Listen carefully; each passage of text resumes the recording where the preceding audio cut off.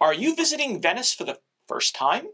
Well, if so, you've come to the right place. Well, the right video, right? Yes. Because today we're going to tell you all you need to know about visiting Venice for the first time. We live in Italy and we visit Venice very often. And for this reason, we thought uh, we could share with you all of the tips that we've learned from our many trips to Venice. We're going to cover when to go to Venice, how many days you should plan, how to get to Venice, where to stay in Venice, how to move around in Venice, And, what to eat in Venice. Yes, absolutely. And of course, be sure to stick around to the end because we're going to cover some of the things that you must see on your first trip to Venice, the some tips to make your first trip to Italy even more memorable. So, we have a lot to cover. Let's begin.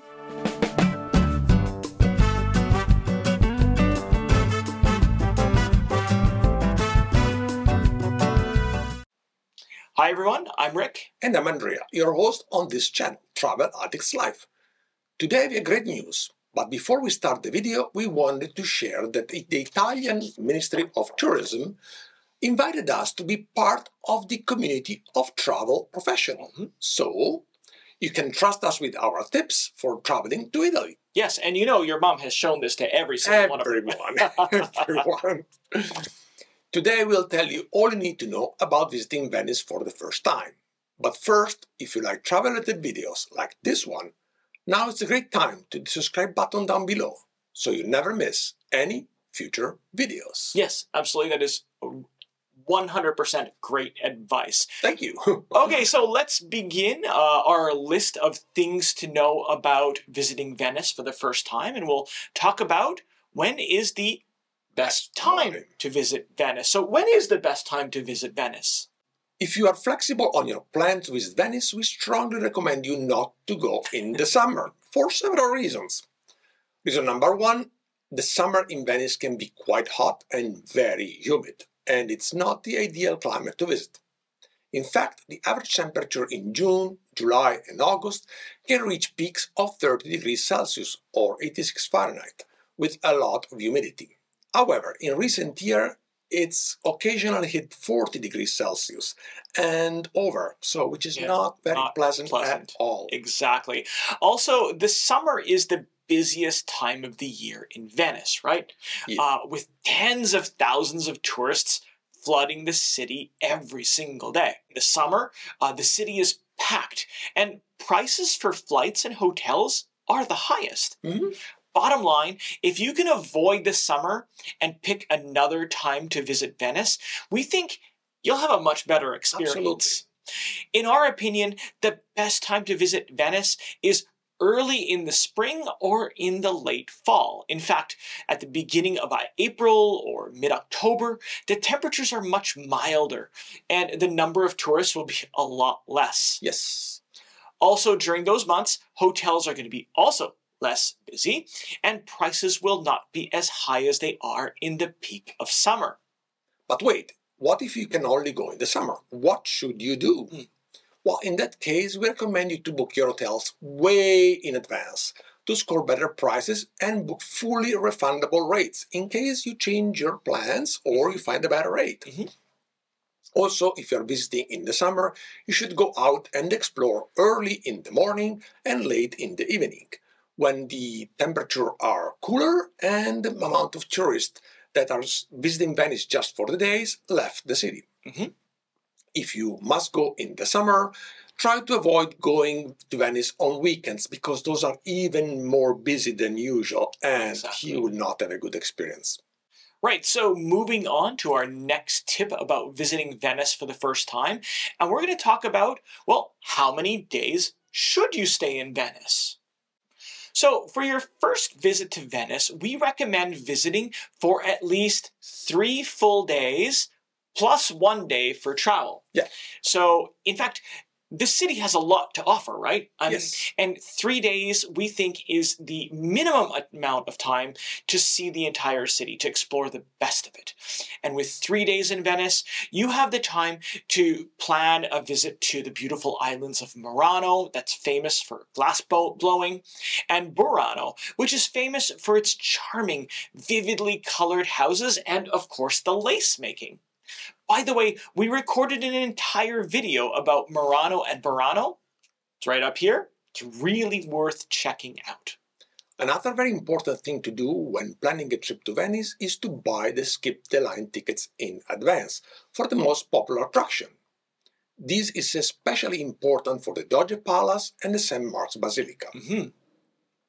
These places are going to be super busy between 11 a.m. and 5 p.m., so try to visit right when they open or an hour before they close, so that there won't be as many people around all these mm-hmm. places. Exactly, and you'll get much better photos doing Absolutely. it that way as well, right?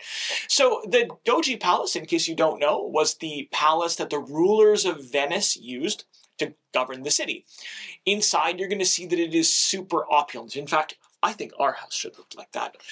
Um, you know, frescoes and all of that kind of stuff. And of course, you'll also find the Bridge of Sighs.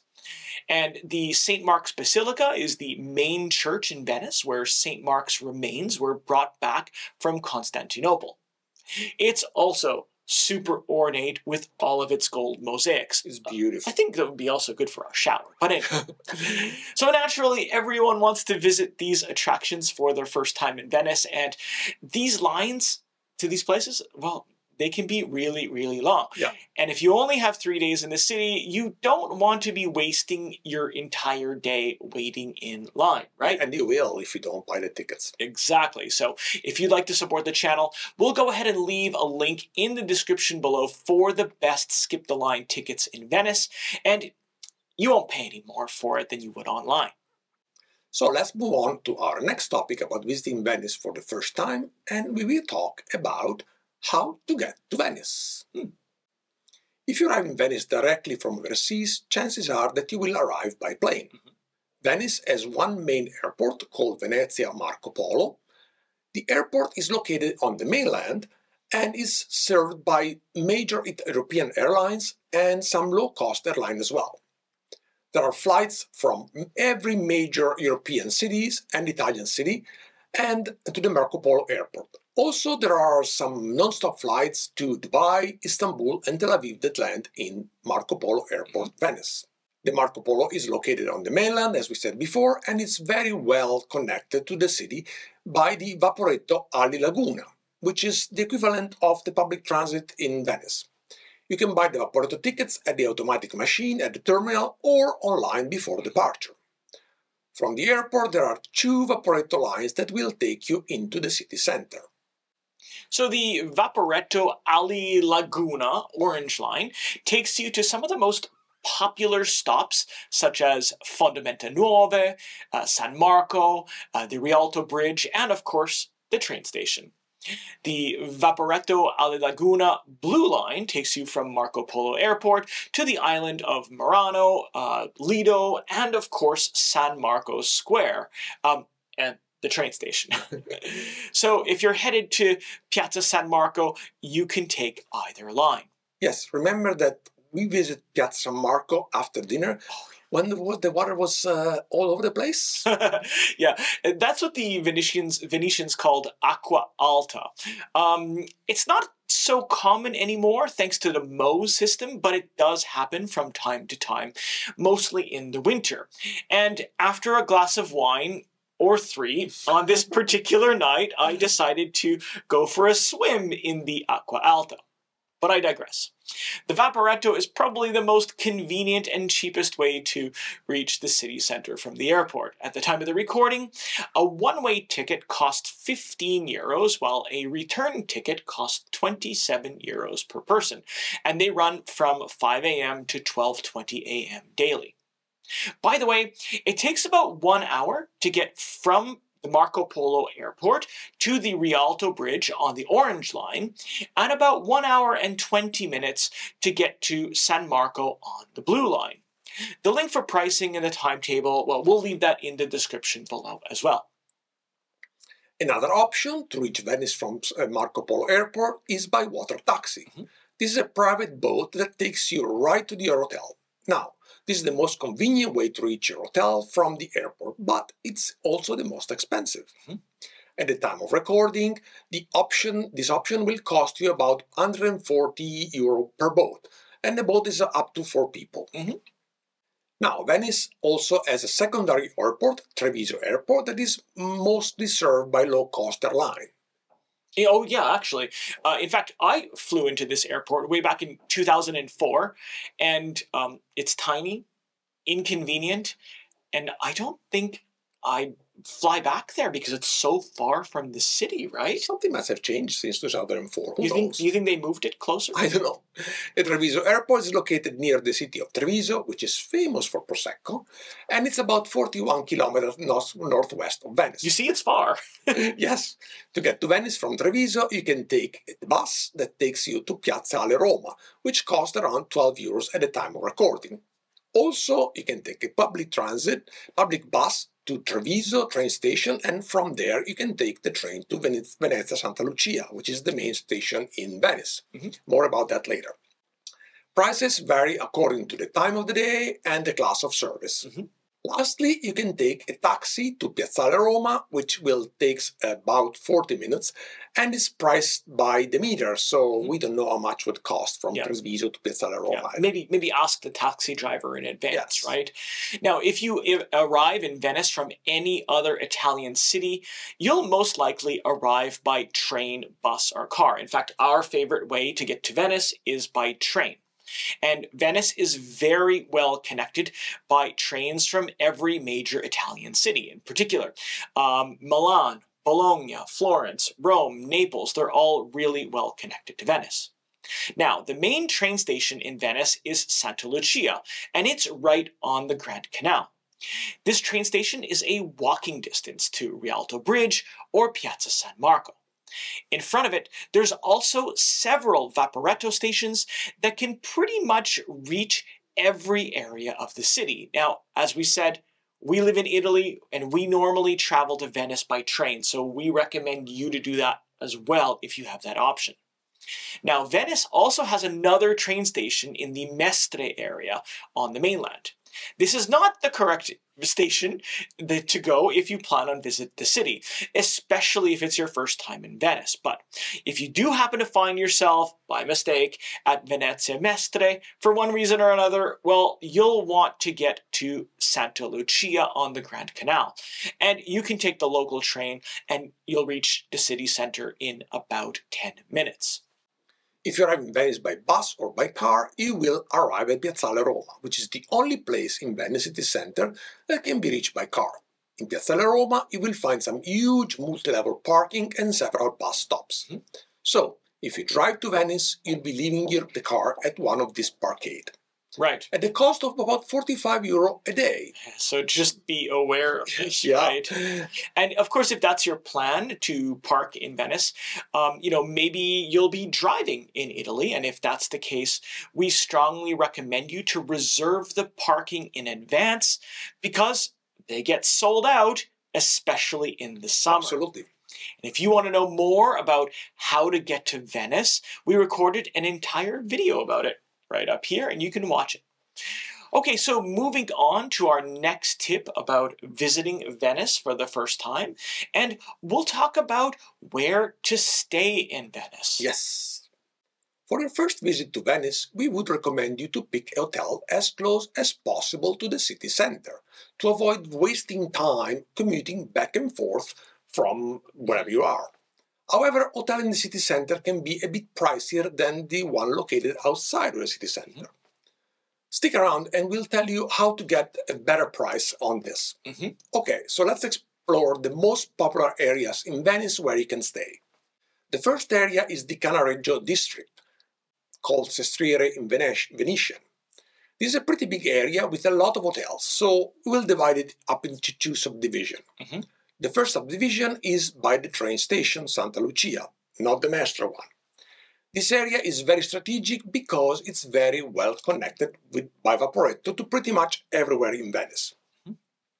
It is, it is also less expensive than most of the other areas in Venice, but the downside to this area is the fact that it can be really, really busy. Mm-hmm. In fact, this area of Venice is the main hub of the city. So every day, tens of thousands of tourists pass through this yeah. area. So yeah. you have to cope with this. And the other area around Cannaregio, let's say it's a little bit off the beaten path, um, is around the historic Jewish ghetto. And this area is very quiet, and hotels here are also very well priced. And uh, it's still within walking distance to St. Mark's Square and many of the other areas and attractions that you're going to want to visit in Venice. In this area, you'll also find a lot of small restaurants that serve local food, especially for lunch. On the other side of the canal, you'll also find the San Polo and Santa Croce areas. And these two areas are still a very good option um, if you're looking for hotels that are affordable and in a quieter area. Next up, we have the San Marco area, and this is this is my favorite area because it's the most it's where the most luxurious hotels are located.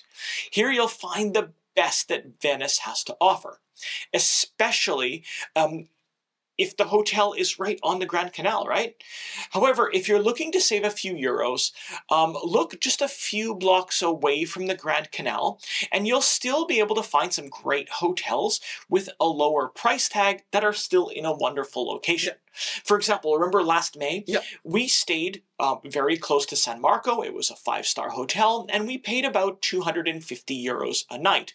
Including breakfast. It would, right? And that was still a very good price for the time. Of course, a three or four star hotel will be a lot cheaper. Yeah. The next area that we are going to explore is the Castello area. This is the area near the historic shipyard of Venice called the Arsenale. In this area, there are not too many hotels, but it's still a great place to stay within walking distance from St. Mark's Square. Lastly, in the city center, you have the Giudecca and Dorsoduro areas. These two areas are a bit far away from St. Mark and the Giudecca in particular will require Vaporetto commute to reach the, all the main attraction in the city.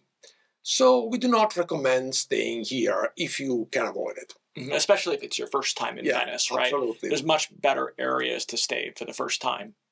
Now, last, if you really want to save some money, um, I mean, I, I love a good deal, right?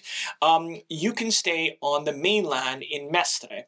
Here you'll find many budget-friendly hotels, but remember you're going to have to take the train or the bus to, you know, to reach the historic city center. However, the trade-off is that you'll often find hotels in Mestre around 100 euros a night, yeah. that's it. And like we said before, be sure to book your hotels as far ahead as possible and make sure to book a flexible rate that you can cancel before so you know, you never know. You might find a better deal, your plans might change. Who knows, right? And also, get a hotel that offers a free breakfast. That way you can bulk up in the morning and have a nice dinner and maybe a little snack or a drinky along the way. And a gelato, maybe. Oh, yes, absolutely. Moving on to our with our next tip for visiting Venice for the first time, and we'll talk about how to get around Venice. Mm-hmm, that's a very, very good topic. There are essentially three ways of moving around Venice walking, taking the Vaporetto, or taking a water taxi. Venice Historic City Center is very walkable city, and you can reach most of the attraction by walking in just a few minutes. Mm-hmm. We strongly recommend you to walk as much as you can in Venice to explore all the beautiful and amazing little piazza, calles, which are Venice typical streets, and bridges.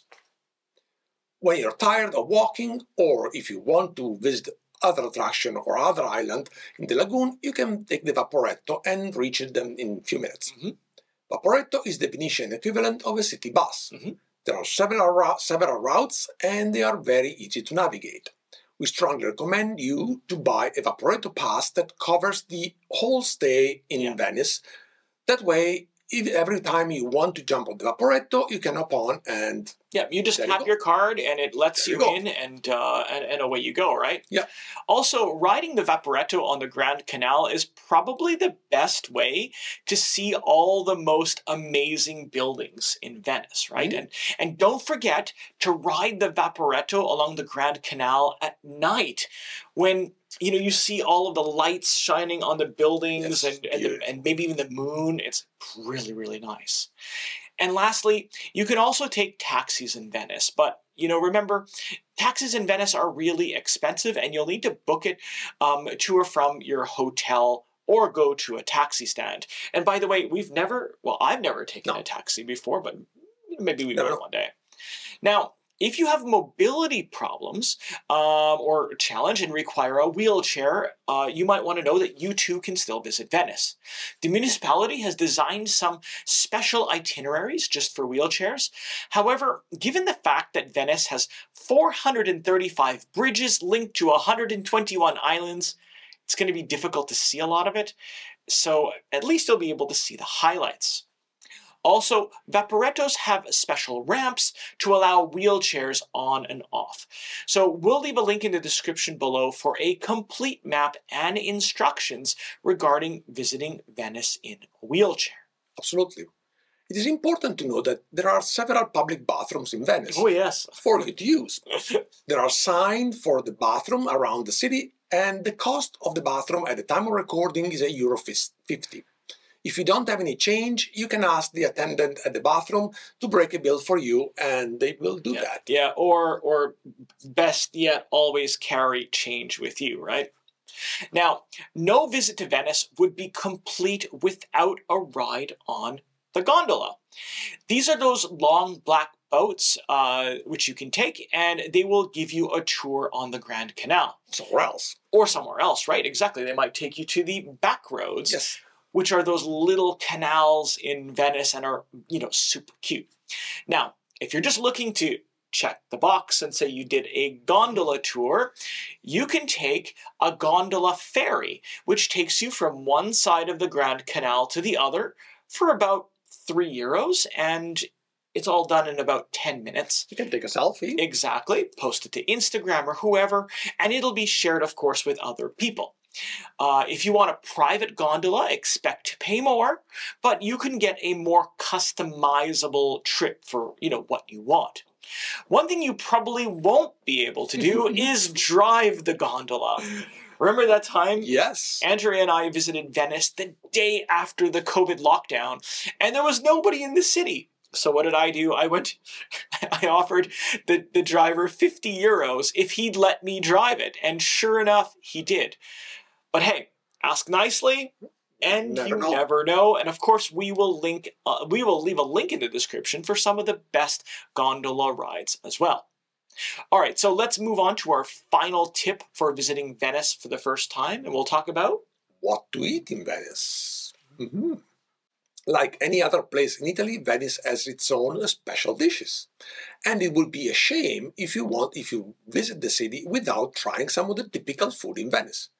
Being a city near the water, Venice has an incredible tradition of seafood dishes.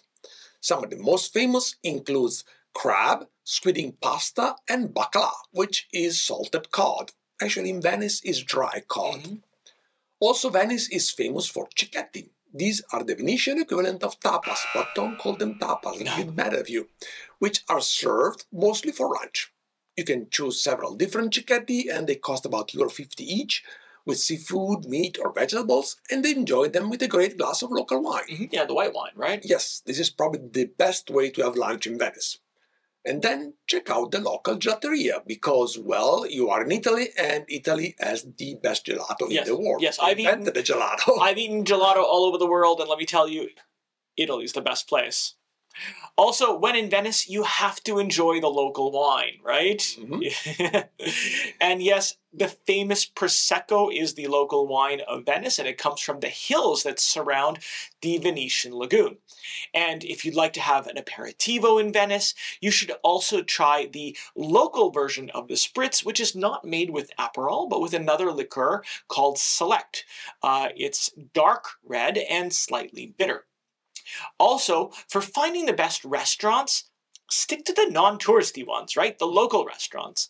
These restaurants are not going to have a big view, uh, and they're going to be far less expensive, and will offer the most authentic, delicious, and local food. Absolutely. Well, folks, this is our video for today. We hope you enjoyed it and learned something about visiting Venice for the first time. You know, there's some one thing that I think we forgot to mention. Right if you want to get the most out of your first trip to Venice, um, consider hiring a local tour guide to take you around. Uh, this can be a great way to see the entire city and for all that it has to offer. Remember um, our last guide? She showed me the smallest road in yes. Venice. It was so cute, and I could touch both of the walls. And you'd probably never know this if you didn't use a guide. And of course, they tell you all sorts of so much more information than that, right? As usual, if you have any questions, please leave a comment below. We love to answer a question the best we can. In the meanwhile, we will see you on our next video. Ciao. Ciao.